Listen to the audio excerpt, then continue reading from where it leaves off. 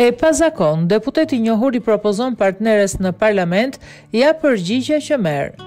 Deputeti australian Nathan Lambert përdori fjalën në parlament për t'i propozuar partneres së tij, duke shkaktuar brohoritje dhe duartrokitje nga parlamentarët e tjerë.